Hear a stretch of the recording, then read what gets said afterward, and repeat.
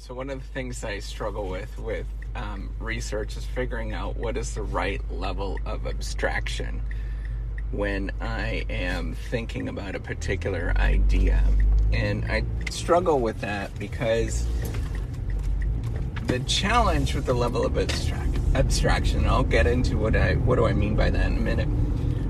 Is thinking about how much of the context actually matters to what you're saying. So, very high level of abstraction has very simple rules that explain a lot of different stuff.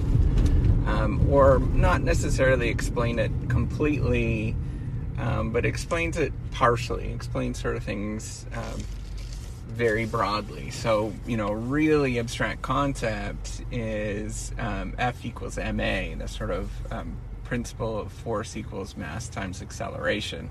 Explains a huge number of things within sciences, um, the physical sciences. It's really basic, really abstract, um, and yet it, it has pretty good explanatory power for a lot of things. But it doesn't explain like things like, you know, love and, you know, subjective things. Um, and so we have to sort of come up and think about, you know, different ways of, of coming up with abstractions. So before you go about and, and think about, well, that's only in the realm of, you know, the subjective world, I, got, I, I need you to remember is that, you know, um, mass and acceleration, while they have physical traits in the physical world, are still just, um, you know, they're made up constructs that somebody made up many years ago to explain a particular phenomenon right? And it sort of is capturing something that we know about in terms of, you know, how much matter, uh, you know, ma- uh, mass is how much um, matter is in a in a given area, for example, right? And and that is a is a beautiful sort of construct, and then um, uh, or in a given volume, or you know I think that's mass. I might be mistaken. Is that density or mass? I think that is. Um, shoot, how much matter? Mass is how much matter. Um, oh, shoot. How, uh, I, can't, I can't remember the definitions. I was just going through this like two days ago. It's funny. And this is the problem with abstraction, right?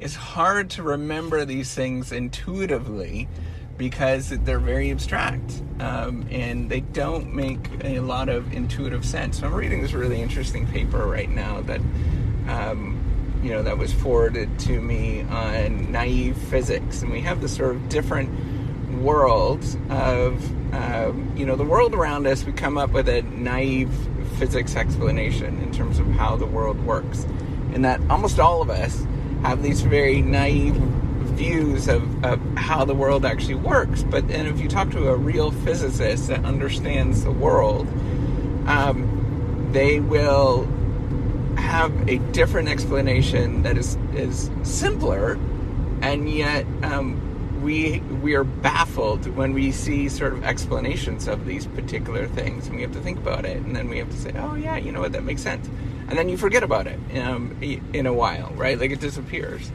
So, you know, the idea of, of abstraction is thinking about how abstract that you need it to be to understand what you're trying to explain. And so, if it's really, if you're explaining a lot of contextual factors, right, like the sort of what's happening right now within a given space, so right around you, um, at this moment that has a lot of contextual factors, or you know somebody else's frame of reference from a different area has a lot of contextual factors that are involved. Um, and and if you explain that particular thing, then you know you get this really rich understanding of what's going on. But you know it's not necessarily not necessarily explaining the sort of broader phenomenon that you might be interested in. And so I struggle between thinking of how abstract should it be? The more abstract it is, it has um, it, it, the, the audience actually diminishes um, in terms of a more. So there's this trade off, right? Like if it's really abstract and it's really beautiful, you might have a really big audience, right? So F equals MA has a really big audience. People understand what you're talking about. but if it's if it's abstract um, and it's not quite beautiful, your audience can be really tiny because it only it requires a certain small group of people that can follow along with what you're actually doing. Um, and I struggle with sort of thinking about those and what that actually means, right? Because the more contextual you talk about in the in the you know current day and time, or you know that sort of frame of reference of that current of moment in time, um, it's easy to explain these particular things, right? So it might be, I don't know, you, you're talking about today, for example. Um, you know, it might be due to having a nice conversation about the weather outside, for example, and using that as as some sort of explanatory variable in what you're doing, and everybody kind of understands that, right? Like the weather goes up, then something happens, um, or or you know the temperature goes up and something happens, and it's pretty easy to explain, but it doesn't explain other things than, than what's going on right now, um, and and so you necessarily can't generalize to a lot of stuff. So because like a tricky I grapple with this of how abstract you should go. And um, there's all these sort of decisions on how abstract it should be. Because the more abstract it is, it becomes like pretty beautiful, right? Like it's a really nice um, understanding of what it is because it's pretty simple right? Generally, the more abstract that you go, the more simpler it becomes. The explanation becomes really simple because you're removing all these other sort of contextual factors. Right? The more that it's contextual, the more that you have to explain all these kind of things and, and sort of you know talk about this and the, the, in the in the paper that I was you know just recently reading and I can't remember the person who wrote it um, about naive physics. You could look it up. Um, was sort of talking about.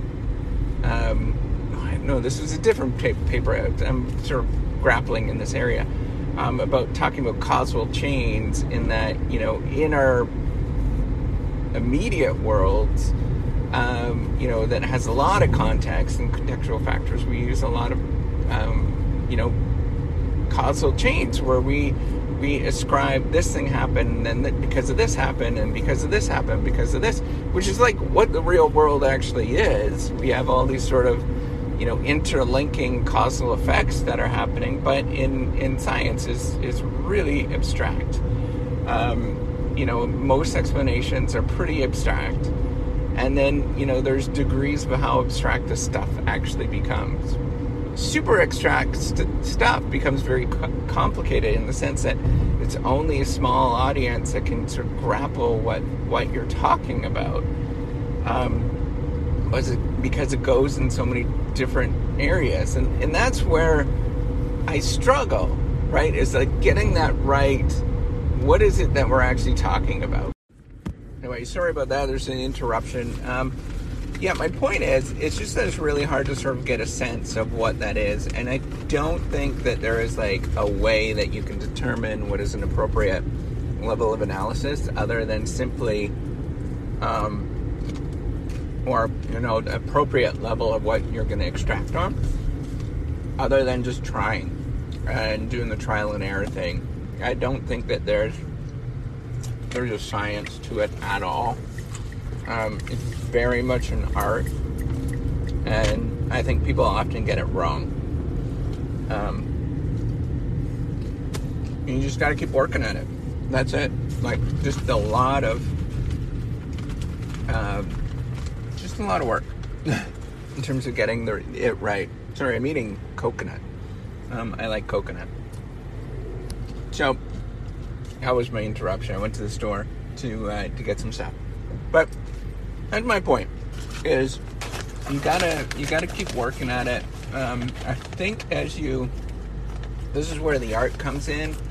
As you gain experience with these things, you have a better sense of what is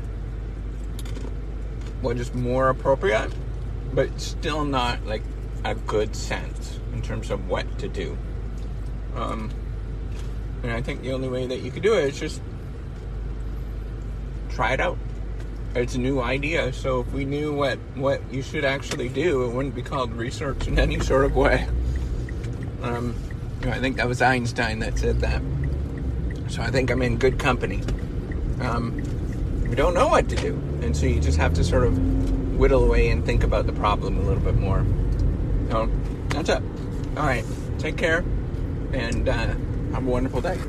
Bye.